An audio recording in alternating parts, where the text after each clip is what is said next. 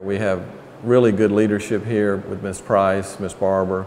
Uh, they have a different vision about corrections that you can tell. They're just, uh, their mentality is to motivate people and to get them back into society through gainful employment. I think that's, that's, that's what it's all about, getting people transitioned back to society. In part two of this story on MTC's new venture into operating two new community release centers, or CRCs, for the state of Florida, we'll take a closer look at the Panama City CRC.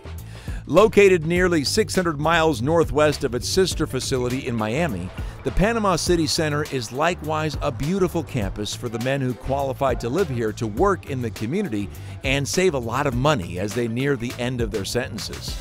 This is geared towards reentry, ensuring that the guys are able to go home, take care of themselves, take care of their families, and be able to have a livable wage once they're back home and out into the community, and ensure that we can have some good citizens return back into the community of Panama City and the surrounding counties. John Rysett has recently completed his sentence. He's now living in the Panama City community and has kept the job he worked at while living at the center.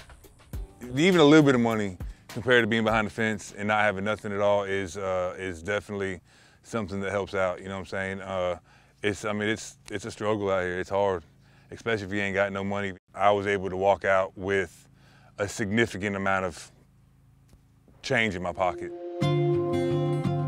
When you see those types of things, it lets you know that you're in the right field. It um, keeps you going. It's the little things that make you get up the next day and say, oh, I can do this.